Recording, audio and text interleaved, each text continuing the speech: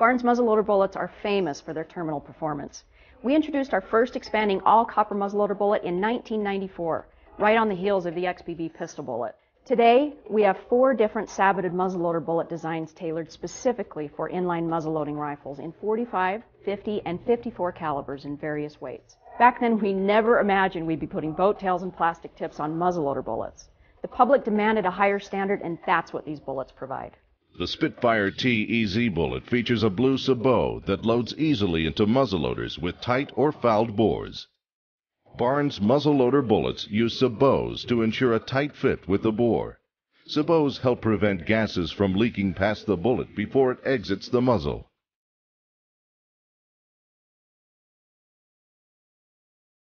These flat base bullets deliver the same match grade accuracy all Barnes muzzleloader bullets are famous for.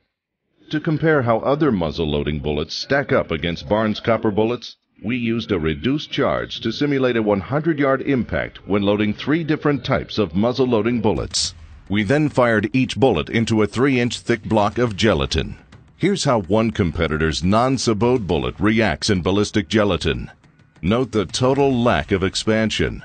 This bullet simply pencils straight through with the tip and gas check intact, causing little or no damage.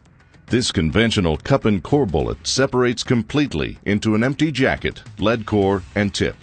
The result? Poor performance, even in a relatively soft target.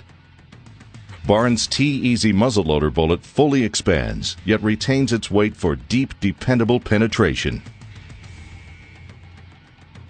Here's another look at how these popular muzzle-loading bullets compare. Which bullet would you put your confidence in?